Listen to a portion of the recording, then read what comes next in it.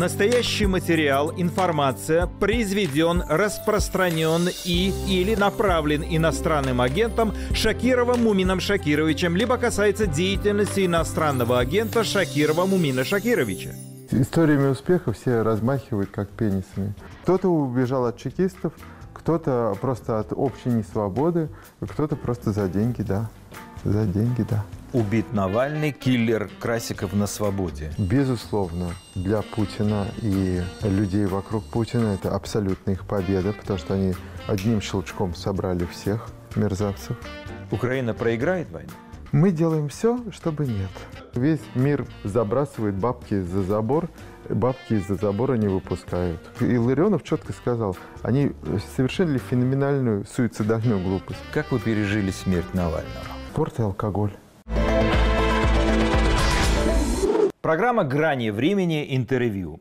Мой гость – предприниматель и общественный деятель Евгений Чичваркин. Евгений, здравствуйте. Здравствуйте. Не избежать нам главной темы, многие это называют историческим событием. Удастся ли оппозиции сплотиться, когда в полку прибыло Яшин, Пивоваров, Владимир Карамурза-младший? А, я думаю, что нет.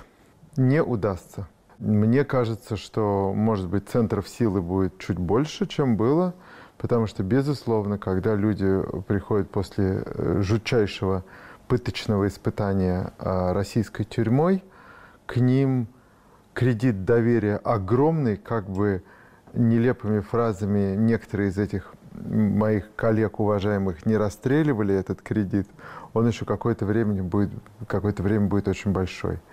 Безусловно, там Карамурза был частью нашего антивоенного комитета. Надеюсь, он и останется важной частью, потому что людей, которые могут выступать на хорошем английском, быть принятыми в парламентах, госдепах, э, писать вдумчивые, серьезные статьи э, на хорошем, еще раз, политическом английском. Их не так много. Люди, которые рукопожатные э, на уровне там, втором, третьем, а иногда и первом. В цивилизованных странах он не очень большой, этот список. Вот. И поэтому, безусловно, я за них очень рад. Это... Что они вернулись, что они на свободе. Я не верила, что да, они на свободе. Один процент политических российских политических заключенных – это на один процент больше, чем ноль. На каждую из эту жизнь больше, чем ноль. Я Честно, как и Карамурза, могу подтвердить его фразу, когда он вышел, сказал, я был уверен, что я умру в тюрьме. Но, опять-таки, смотреть в глаза Евгении Карамурзе этой зимой в Берлине мне было очень сложно, потому что я думал, что, ну, ну то есть я должен поддержать, но ничего честного, поддерживающего мне не, не приходилось сказать, слава богу, их отпустили. Безусловно, для Путина и людей вокруг Путина это абсолютно их победа, потому что они одним щелчком собрали всех мерзавцев к себе.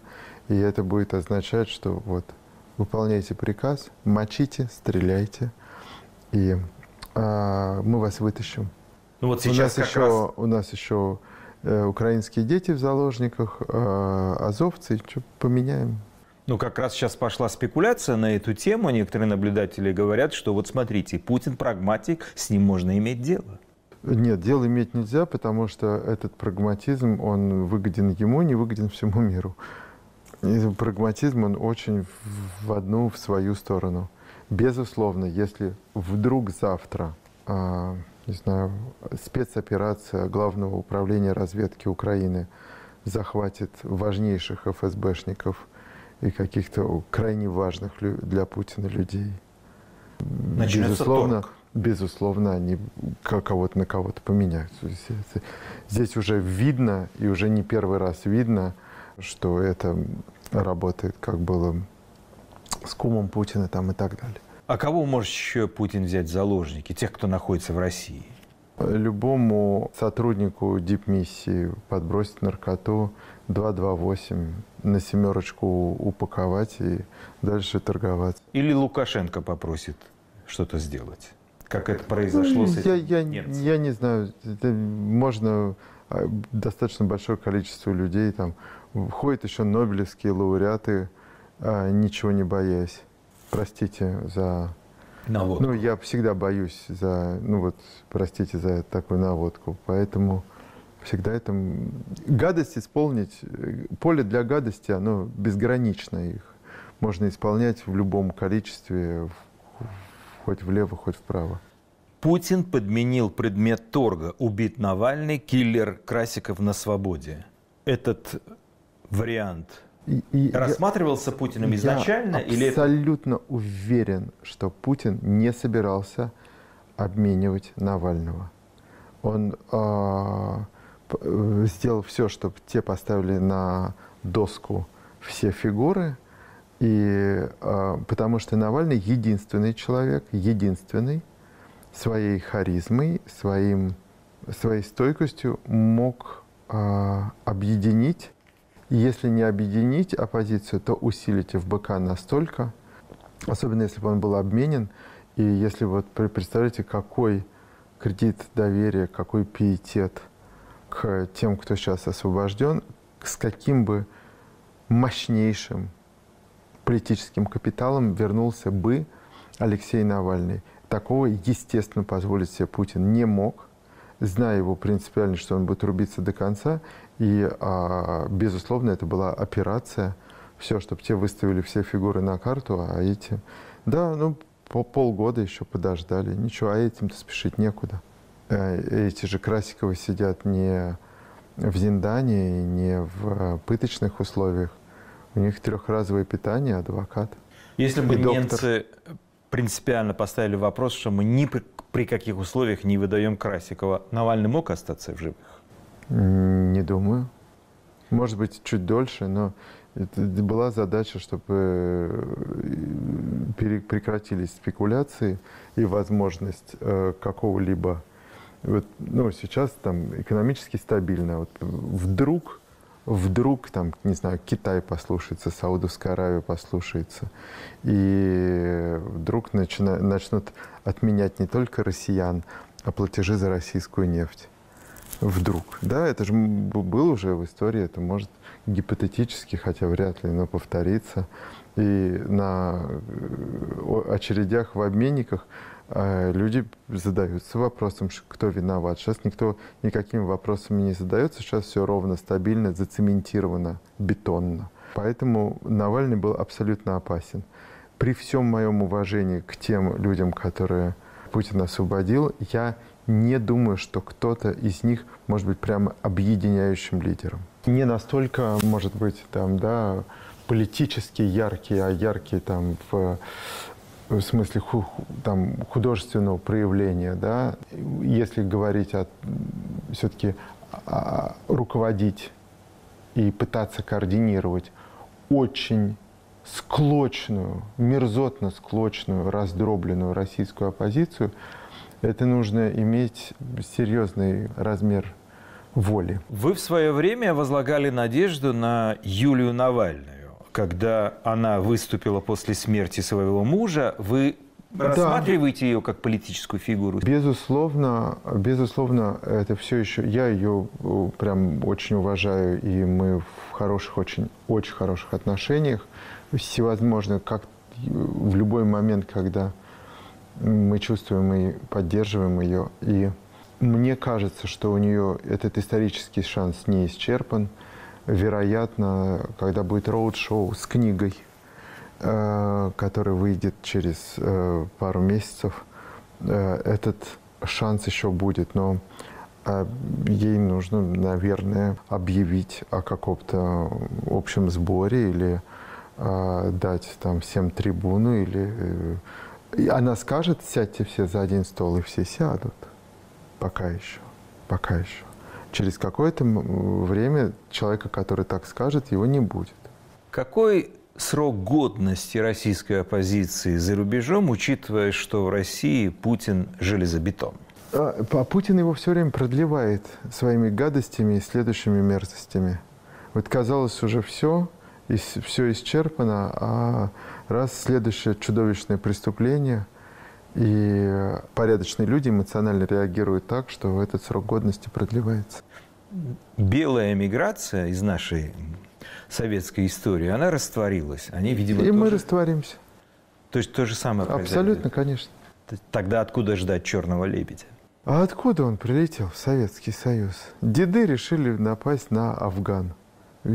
Было при той экономической модели, я не знаю, сколько, 30-40 лет могли существовать спокойно еще, потихонечку погружаясь э, в топе. Но за 10 лет страна обанкротилась. Как ну, раз это, вот, потому, что, потому что экономические мудрые решения, волевые, со стороны Штатов с нефтью и зерном посадили вот в ножницы, в ножницы а, Э, вот эту неповоротливую российскую экономику. Сейчас экономика гораздо более поворотливая. Сейчас сверху государство, снизу бизнес, да, который не убили и которым сейчас не мешают э, выводить крипту, заводить крипту, вот это вот кюлиш-мюлиш делать.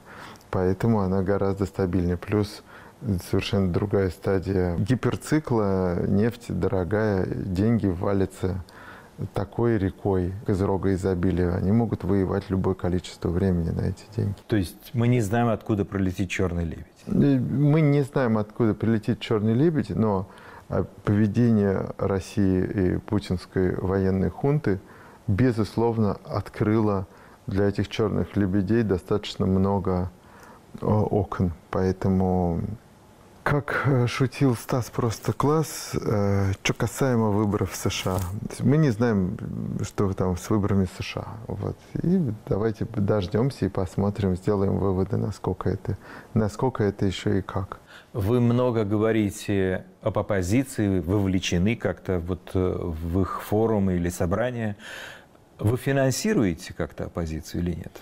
После того, как отмена всего русского произошла, у меня банки отозвали все кредиты. У нас были полтора тяжелейших года продажи рабочего капитала и отдачи кредитов. Я ничего сам больше не финансирую. Но если у меня есть деньги, которые кто-то пожертвовал, я лучше куплю аппараты для диализа детей для Ахмадида, нежели для чего-то для русской оппозиции. И буду дальше продолжать, если стадия войны будет иное, э, иная, я э, буду дальше продолжать ту, ту деятельность. Может быть, я не буду активно это делать, но любое пассивное приглашение куда-то выступить, я всегда буду брать деньги, всегда буду отправлять украинским детям. Почему я вас об этом спрашиваю? Свое как время... это было и до войны? Восемь лет. Где я был восемь лет, я восемь лет вот этим занимался в том числе.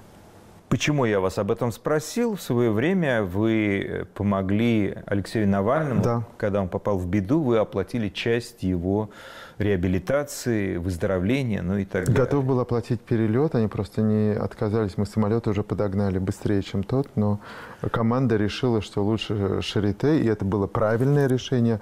Мое решение была опция «Б». Ну, слава богу, что она была, и я не воспользуюсь, ничего страшного. Ну, вот мы да, оплатили часть лечения в Шарите и часть содержания, причем публично в Шварцвальде, потому что для местной политической элиты было важно показать, что это не висит на налогоплательщиках. И окей, это, мне это было очень приятно сделать. Важно знать российским обывателям, гражданам, на какие средства существует российская оппозиция. Безусловно. На какие средства?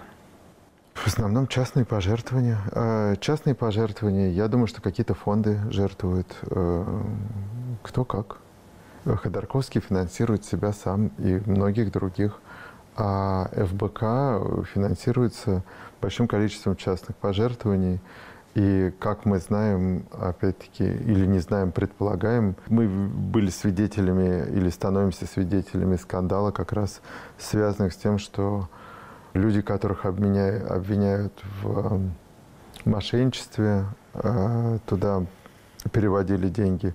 Ну, и огромное количество порядочных людей переводили. Так что, так что это частные, в основном частные и какие-то зарубежные американские фонды.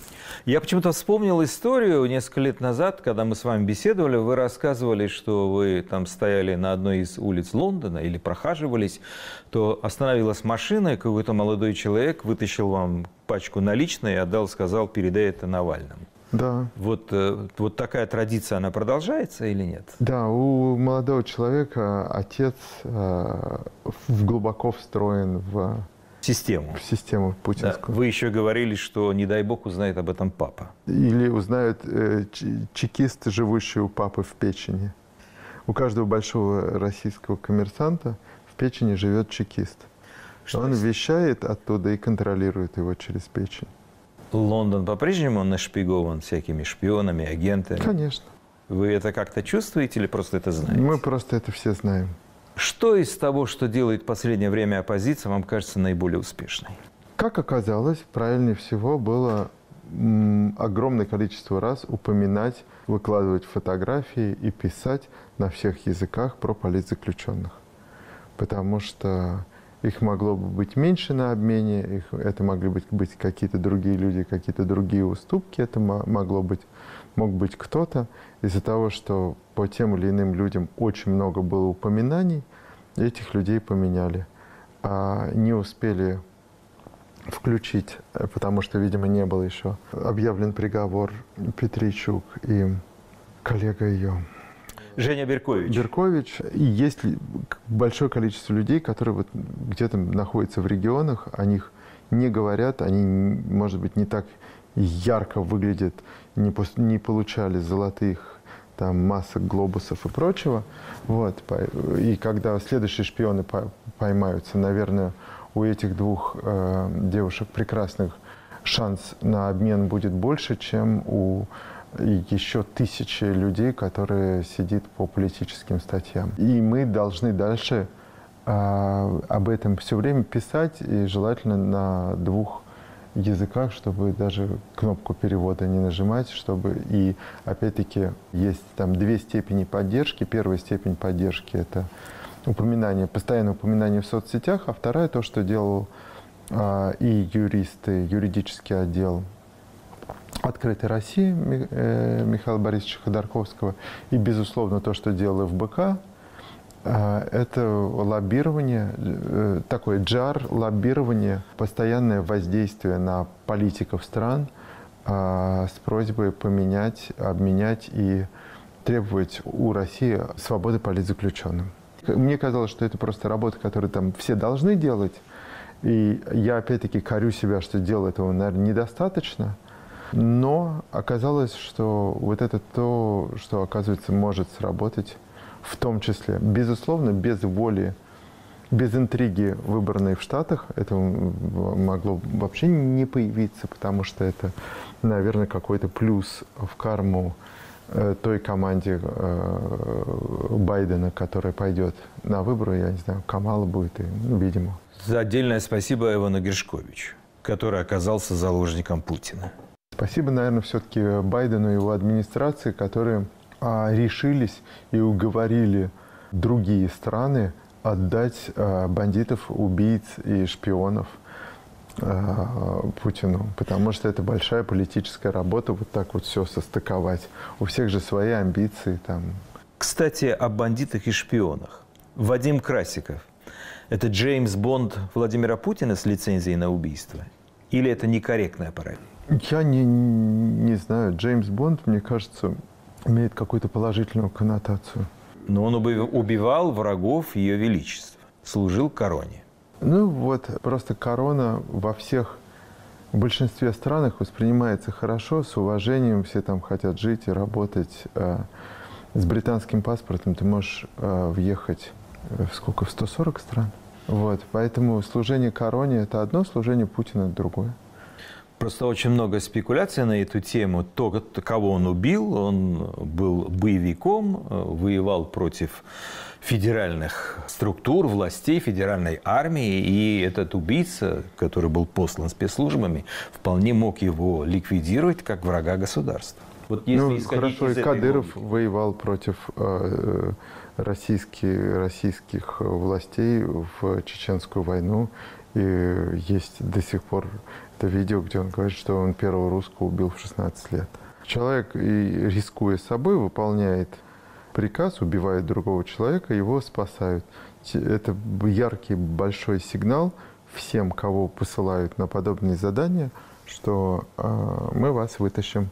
Родина вас э, любит, помнит, заботится э, и сделает все, чтобы вы оказались мало того, что на свободе, в комитете Госдуры с медалью, героями России и уважаемыми людьми до второго пришествия. Может ли Илья Яшин вырасти в крупного политика, который поведет за себя россиян? Давайте пожелаем ему это. Как вы пережили смерть Навального? Тяжело. Кроволол, алкоголь? Алкоголь, конечно, не кроволол. Алкоголь. Барбитура – это зло больше. Нет, ну, конечно. Мы... Мы когда-нибудь узнаем, как его убили?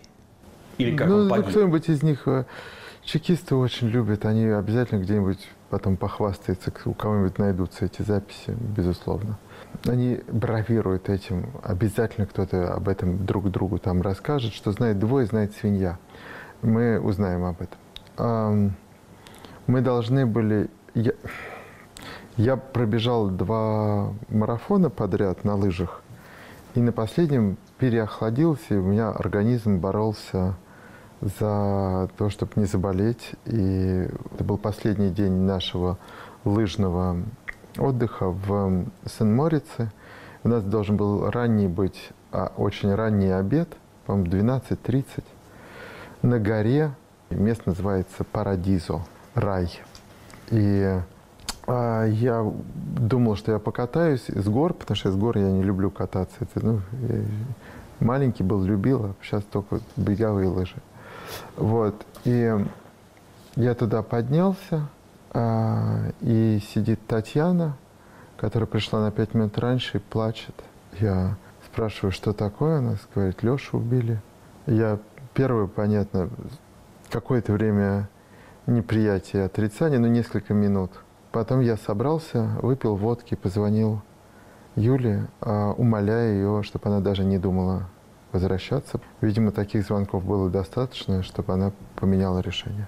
Вы когда увидели картину... Потому что я до этого читал, все время перечитывая свою переписку с Лешей, я понимаю, что я его недостаточно уговаривал и неправильно, неправильно...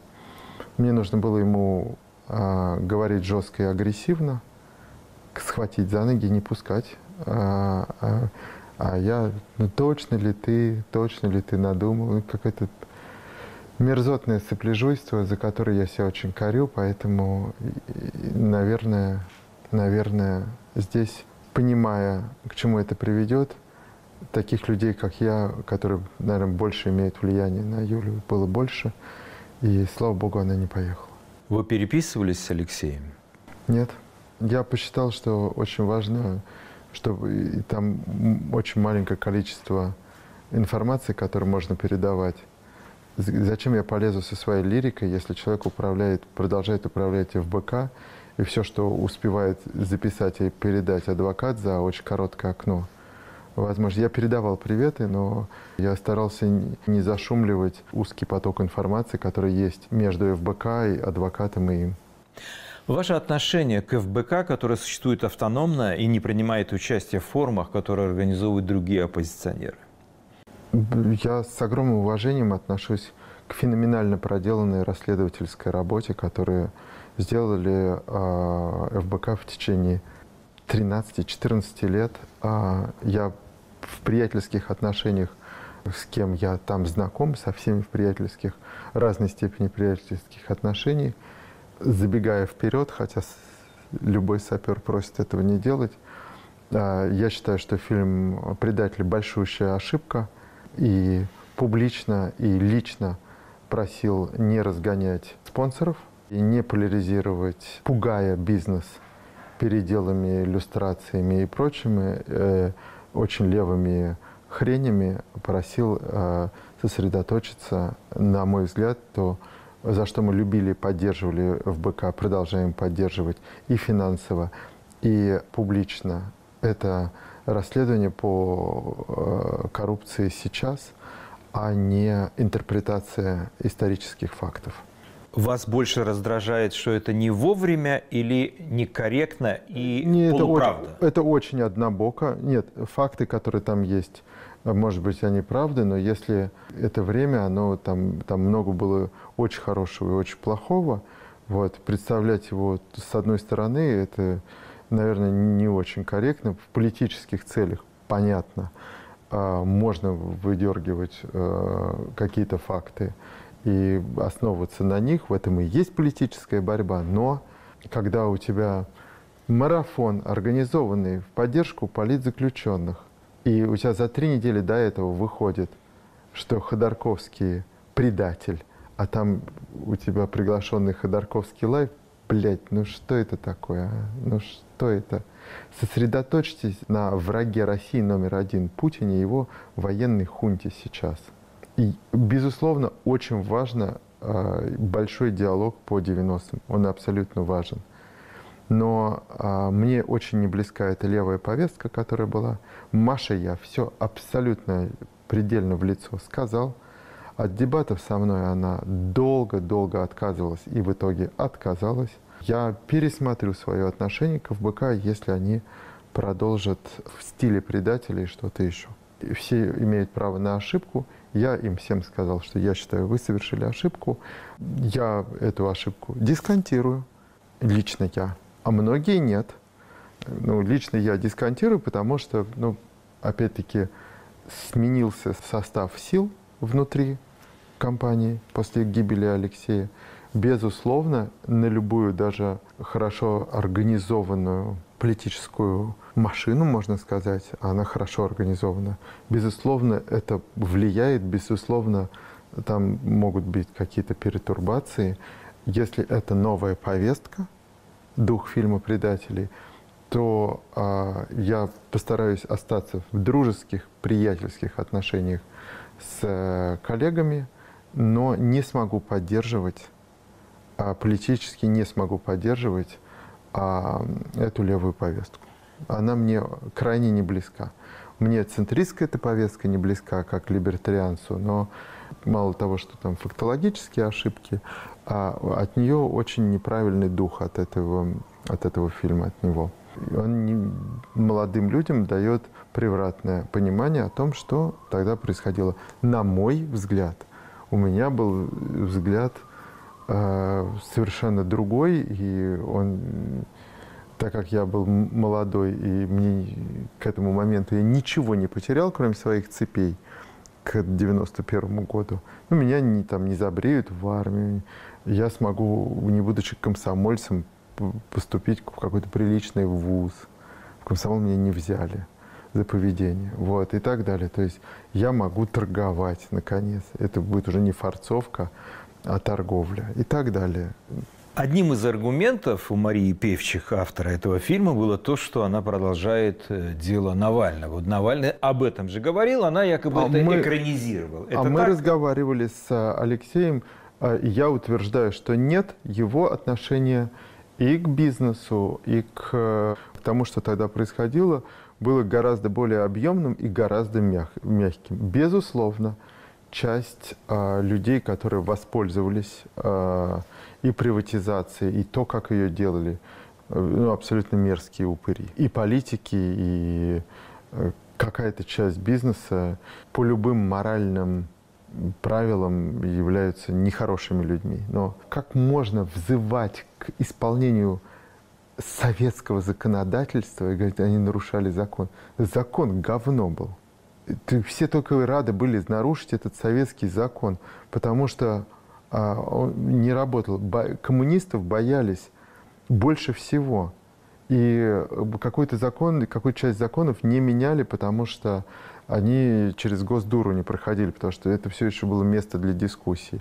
Поэтому всеми путями пытались вытащить страну, развернуть эту голову а, на Запад, кормить ту голову, которая смотрит на Запад, которая сейчас поникла, потому что она смотрит в стену. а голова, которая смотрит на восток, ест в три горла в нашем этом самом византийском гербе. Конечно, этот закон не, его было морально нарушать и нужно было нарушать. Вы в последнее время очень много про при, это говорите. Притащить страну к капитализму. Любым путем ее нужно было тащить в частную собственность и в капитализм. Тем более при всем уважении к Гайдару. Ну, откуда он знал, как это делать? Он чувствовал, как это делать. Ну, опять-таки, он до этого работал в журнале «Прости, Господи, коммунист». Вот. Или там Чубайс. Откуда они знали, как это делать? То, что у, у них были предельно честные намерения, я не сомневаюсь. То, что они по пути, так как они молодцы, что-то себе прихватили, я тоже не сомневаюсь. Вот. Но это абсолютно смешно по сравнению с тем, какого масштаб кошмара а, потом стали прихватывать себе. Ну, знаете, вам любой скажет, что в Чехии и в Польше тоже были реформы, но и были известные люди, тот же Бальцерович. Там как-то все прошло, ну, более-менее гладко. Смотрите, э, где было три поколения совка, три поколения отсутствия частной собственности, все очень плохо срослось. Где было всего два поколения совка, как, например, во всех странах Балтии. Когда деды помнили, как было правильно, вот оно, информация передалась, как в Западной Украине, э, как в странах Балтии, где не было 20-х и 30-х сталинских годов, э, с отсеканием всех, кто имел свое мнение, интеллигенции, образованных людей. Опять-таки, ну, три поколения. То есть от дедов к внукам не передались знания, а здесь передались. Поэтому здесь относительно быстрое было восстановление в 90-х и разворот к капитализму, а многие страны, особенно, а как здесь говорят, стан countries, вот, они еще более стали несвободными, э, чудовищными, мракобесными и так далее. Евгений, и людей там э, очень жалко. Одна из э, претензий того поколения, в том числе и Марии Певчик, это то, что вот те люди, которые проводили реформы, те люди, которые передавали власть одним другим, породили такого политика, некоторые его называют людоедом, Владимира Путина. Они привели его к власти, и вот если бы к власти пришел бы какой-нибудь другой человек, возможно, не было бы такого критического взгляда. Вы согласны с этим? Это государство в таком размере может э, именно государство, не страна, существовать успешно как государство, не как люди живущие, э, только в жесткой ордынской модели. Поэтому приход человека как Путина или превращение э, условного либерала с премьером Кириенко, как мы помним, и человека, который приветствовал в 2000 году, в 2001, Лондонский экономический форум, а, при котором было проведено несколько реформ, которые не только контрреформ. Первые 4, 5, 6, 7 лет были в том числе и, и достаточно либеральные шаги были сделаны. И в седьмом году в баррель ВТО. нефти стоил 140 долларов, если мы помним, в 2007 году. А в 2003 или 2004, когда он стоил всего 40, Э, страна продолжала расти достаточно резко. И напомню, что у Путина тогда помощник по экономическим вопросам был Андрей Ларионов. Но запрос на ордынство, на вертикаль и на жесткую руку ты можешь сойти с дистанции, проиграв следующие выборы. Вот. А можешь э, просто фасции, которые тебе э, несут в руки, их можешь взять вот, и намотать ну, на кулак, что и сделал Владимир Путин могли ограничиться только экономикой, но вот захотелось, к сожалению, какие-то комплексы детские, протанчики, самолетики, вот это надрачивание на 27 махов ракет. Почему на переломе 7-8 года, когда был пик экономического подъема, он не продолжил это дело, не стал Ататюрком или Ли Куан Ю, или хотя бы Дэн Сяопином, а превратился опять э, или стал КГБшником, тем, который э, практически сегодня уничтожает свою собственную страну. Ну, смотрите, все работают, зарплаты выросли, все работают. Безработицы нет. Внутренний туризм, террасы полны, велодорожки. Стройка идет? Идет. Торговля идет? Да, с Востоком идет. Деньги можно прислать в Эмираты? Можно. Поехать за границу можно? Можно получить шенгенскую визу. Ну, без путешествия в Латвию, хотя можно и в Латвию прилететь, поменяв рейс э, в Париже. Можно, Французская, Франция даст визу? Даст. То есть все у него хорошо? Все хорошо, весь мир покупает, газ не так дорого стоит, нефть покупает, забрасывает бабки за забор, бабки из-за забора не выпускают. Вот и там много бабок. Потому что их не выпускают. Да, однако такой предприниматель успешный, как вы, вы живете не в России, а в Лондоне. Ну, много живут, ну, там уже бабы нарожали за это время. Многих других юных, молодых и успешных. Вот, поэтому э, хрупкая ли эта конструкция, когда там только восточная голова работает, а западная не работает, а, да, она гораздо более хрупкая, наверное. А все завязано на нефти. Понятно, что еще какое-то длительное время будет дорого, а потом вдруг не будет, или могут они отказаться от российской нефти. Но гипотетически, если бы они это сделали сразу после войны, безусловно, она бы шарахнула куда-то под небеса, сейчас было бы столько же, сколько сейчас. Только вообще Россия не получила бы ни копейки больше. Синдром суицидального поведения. Так экономист Илларионов охарактеризовал поведение Запада касаемо санкционной политики. Он считает, что это не ошибка, а умышленно. Они э, поднимают экономику России, ну и сами тоже зарабатывают деньги. Вот согласны с такой трактовкой? Да. Вы постоянно много месяцев, если уже много лет, твердите, что ни в коем случае нельзя покупать нефть у России, и это поможет ее как-то ослабить. Но при этом есть побочный эффект. Цены мгновенно вырастут. Ну, и... какое-то время, ну как и с газом. Они сначала вырастут, потом э, Америка, грубо говоря, восполнит этот Америка и азиатские страны. В Сауде можно выкачивать еще больше. А зачем? Им же выгодно продавать тоже дорогую нефть. Ну нет, если она вырастет до каких-то ненормальных э, цифр. Ну, это может быть, а может и не быть. А может нефть стоит 200 долларов за баррель. Если она будет стоить 200 долларов за баррель, то через очень короткое время здесь все будет на газу, будет питаться от газа. В Европе и во многих других странах крыши будут покрыты панелями, альтернативные источники, еще поставить 100 тысяч ветряков, и нефть будет стоить свои 80-70. Это экономические мысли 250 лет, и она незыблема. Основная мысль критиков вот этой санкционной политики – это не покупать нефть но, нефть, но в то же время открыть импорт, чтобы русские, россияне – богатые и бедные покупали западные товары. И Луи Виттон, и Мерседес, и Порш, все. Это нужно сделать. Пусть, пусть тратят деньги. Пусть финансируют европейскую экономику, где НДС идет на вооружение НАТО. А из-за забора деньги не выпускают. Если бы а, оттуда выезжало денег столько, сколько выезжало раньше, там уже был бы коллапс. Они, ну вот Илларионов четко сказал, они совершили феноменальную суицидальную глупость. Если бы они сразу выпустили деньги и людей, вообще э, Путину пришлось бы э, либо заканчивать это, э, условно говоря, захваченным на тот момент, и страну закрывать, чтобы людей больше не выпускать. Когда хотели выехать айтишники, айтишников бы выпустили тогда, дали бы им, причем можно было с ними, им же не надо руку помощи, как украинцам. Им сказали бы, ну, минимальный, вот вам, грубо говоря, каждые полгода, пока идет война, продлевается рабочая виза. Открываются банковские карточки. Да, минимальный налог, который вы должны заплатить, две с половиной тысячи предоплаты на полгода вперед.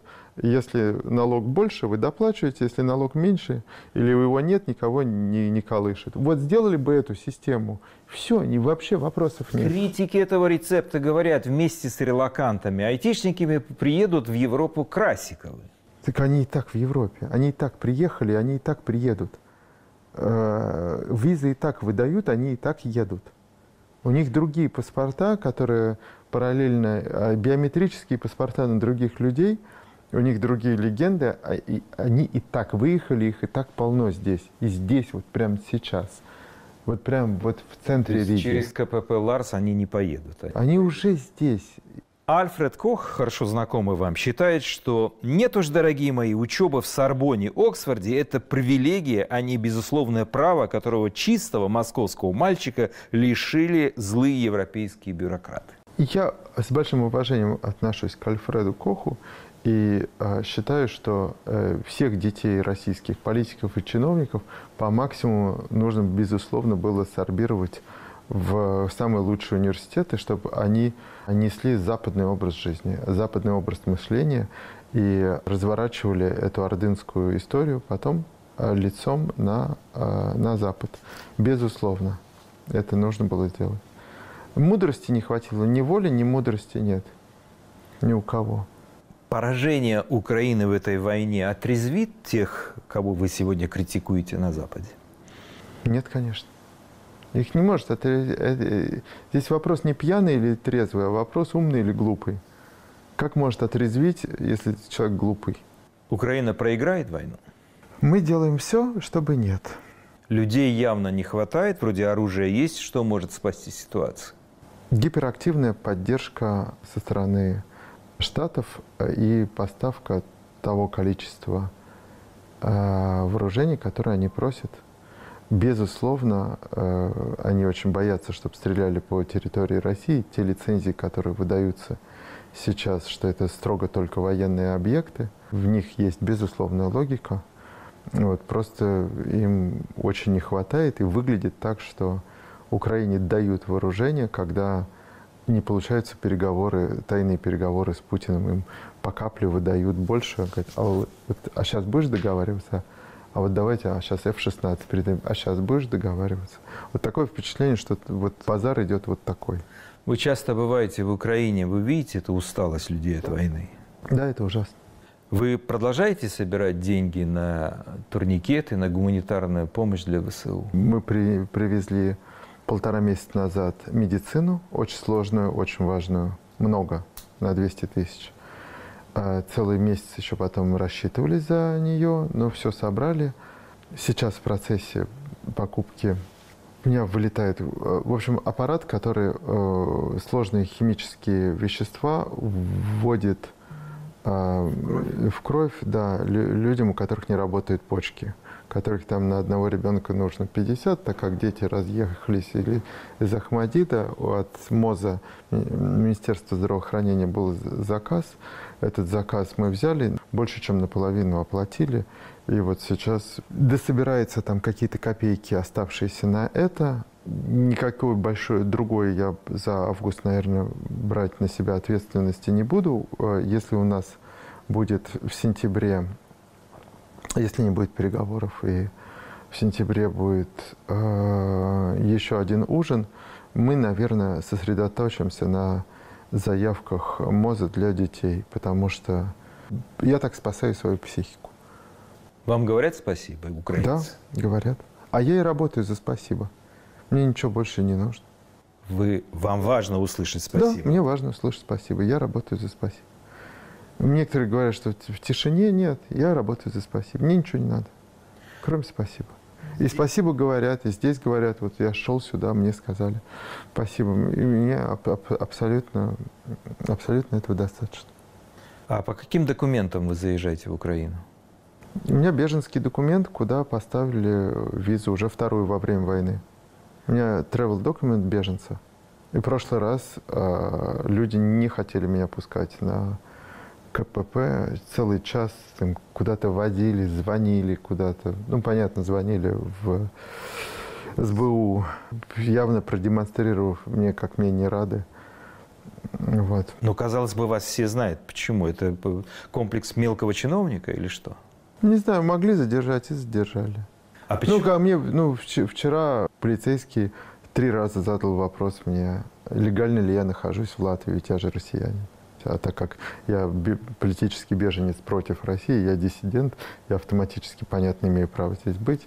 Вот. Но, опять-таки, вот почему? Вот он узнал меня, вот почему задал мне три раза этот вопрос? Вот почему? Потому что может. Вы сюда тоже заезжаете, в Латвию, с тревел документом? Конечно. Да, с чем я? С усами, лапами и хвостом. Есть ли у вас возможность получить британское гражданство? Уже 8 лет как. Почему вы его не получаете? Ну, потому что это какая-то защита. Ну, вот как сейчас э, кого-то арестовали в Монтенегро, в Черногории, в стране НАТО, и э, одну из активисток, и э, ей грозит высылка в Россию. Она сидит в тюрьме. Когда я был в Монтенегро, где встречался с папой, если меня там арестовали по какому-то российскому запросу, они должны были бы в первый самолет меня посадить и отправить в Англию. В этом разница. То есть travel документ иметь более выгодно, чем британский паспорт? Нет, не дают визу, долго мнут. Каждый раз э, где-нибудь в Германии или в Австрии собирается целый консилиум, мнут мою ксиву, снимают меня с рейса. Вот, не понимают, звонят куда-то, надувают щеки, ведут меня как, э, себя как с преступником.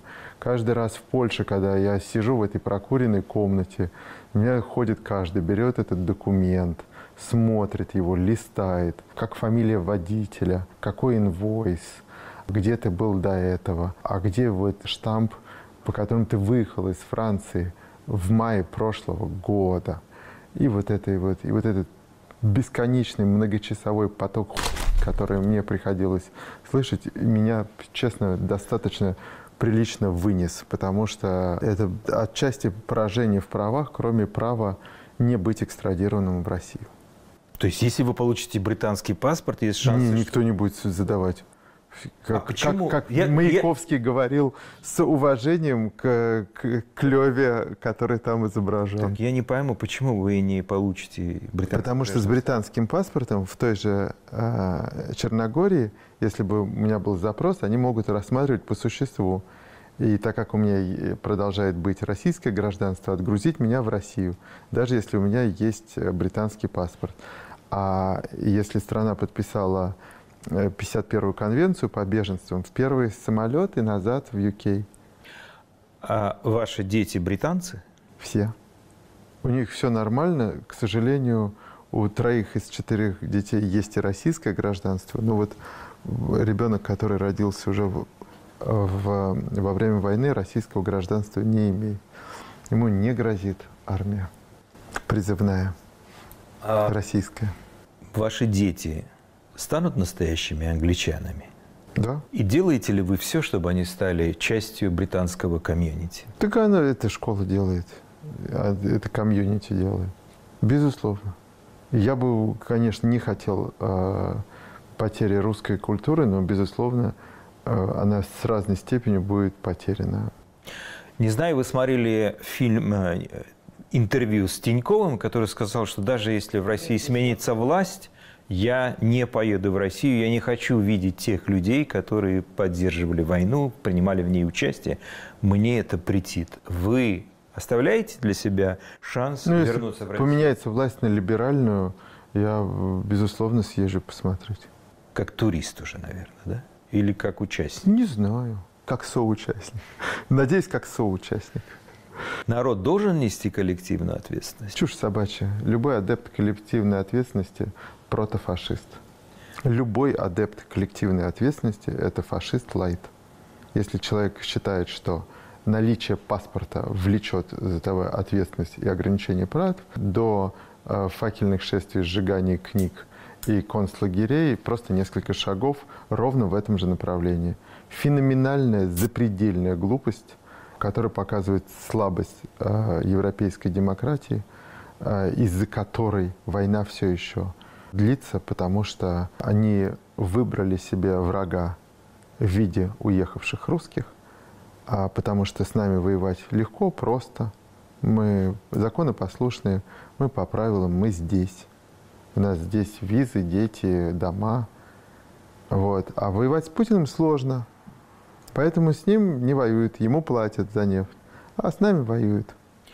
Насколько изменилось ваше отношение к таким людям, которых причисляют к реформаторам, э, Греф, э, Кудрин, Христенко, с которым связываются реформы нулевых годов?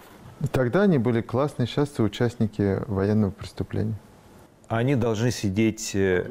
Э, суд в Гааге? Суд в Гааге, приговор, Машка, Крытка. Вы готовы давать там Абсолютно. показания, конечно. быть общественным обвинителем? За всеми, за всеми, да, конечно. Они все соучастники э, большого военного преступления. То есть никакого сочувствия? Никакого.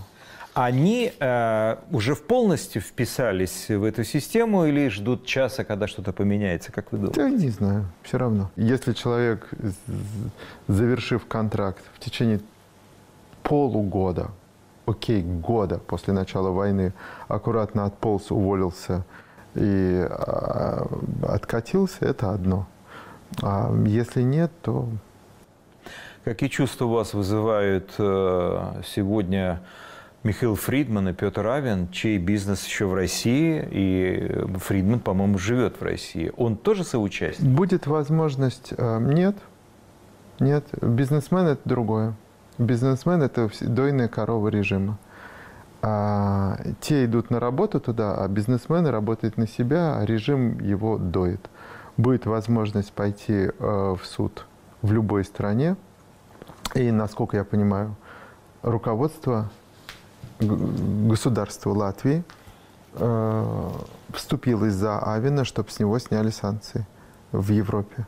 В этом порыве я вместе с руководством государства Латвии. Я считаю, что с них должны быть сняты санкции.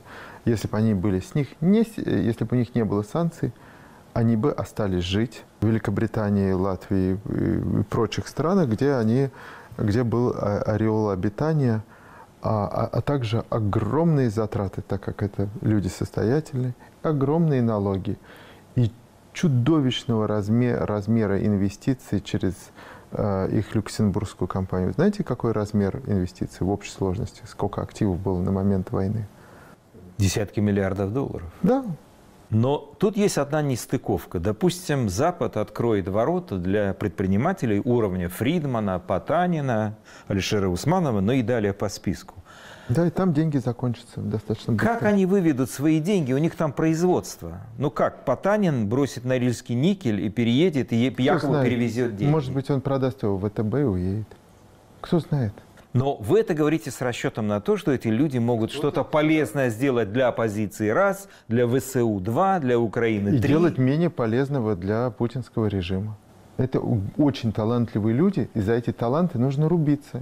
Если бы я был э, самый, э, не знаю, диктатором в лучшей стране мира – я бы сделал бы все, чтобы эти люди жили и работали в моей стране. Если бы я был шейхом отдельного острова Мадагаскар, вот, я бы сделал все, все, чтобы, я процитирую это название спектакля, «Жиды города Питера жили у меня».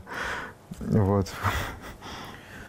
Каков градус ненависти в Украине к русским, к россиянам? Он уже стабилизировался или он продолжает расти? Ну, я исключение, я не испытываю его на себя. А так, наверное, очень разный. Зависит от того, как человек близок к фронту, сколько он потерял и кого. Вы говорите по-русски в Украине? Естественно. Я более того хочу сказать, что по центру Украины, если идут две интеллигентного вида женщины в шляпах красивых, если подойти сзади, э, четыре против одного, что они говорят на русском прошлый раз, когда мы с вами говорили и отвечая на вопрос, как помирить украинцев и русских, вы сказали, что помирить их может только экономика и бизнес. Купцы всех, всех все помирят, как это всегда бывало.